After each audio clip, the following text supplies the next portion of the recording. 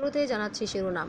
ব্রাহ্মণবাড়িয়ার কসবার গোপীনাথপুর ইউনিয়নে কোরআন ও সুন্না ফাউন্ডেশনের উদ্যোগে আত্মমানবতার সেবায় গরিব ও অসহায় অর্ধশত পরিবারের জন্য ইফতার বিতরণ।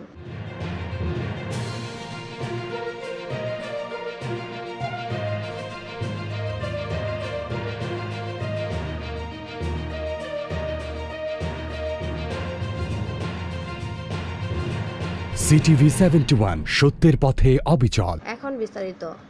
ব্রাহ্মণবাড়িয়ার কসবার গোপীনাথপুর ইউনিয়নে কোরআন ও সুন্না ফাউন্ডেশনের উদ্যোগে আত্মমানবতার সেবায় গরিব ও অসহায় অর্ধশত পরিবারের জন্য ইফতার বিতরণ করা হয়েছে।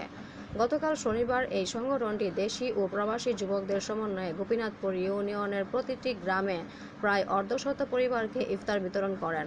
এ সময় সংগঠনের পক্ষ থেকে বলা হয়, সমাজের অসহায় মানুষের মাঝে থাকতে পেরে এবং তাদের জন্য সামান্য কিছু অবদান রাখতে পেরে আমরা গর্বিত।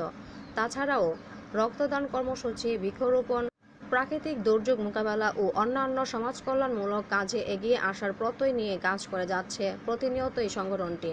তাদের এই কল্যাণমূলক কাজের জন্য ইতিমধ্যে ইউনিয়নের গণ্যমান্য মানুষের অনেক সুনাম অর্জন করেছেন। গোপীনাথপুর ইউনিয়ন কুরআন ও সুন্না ফাউন্ডেশন একটি ইসলামিক অলাভজনক সমাজ কল্যাণমূলক ফাউন্ডেশন। সংগঠনটি আত্মমানবতার সেবায় শুরু থেকে কাজ করে যাচ্ছে। সামনে আরও ব্যাপকভাবে কাজ করার প্রত্যয় ব্যক্ত করেন সংগঠনটি।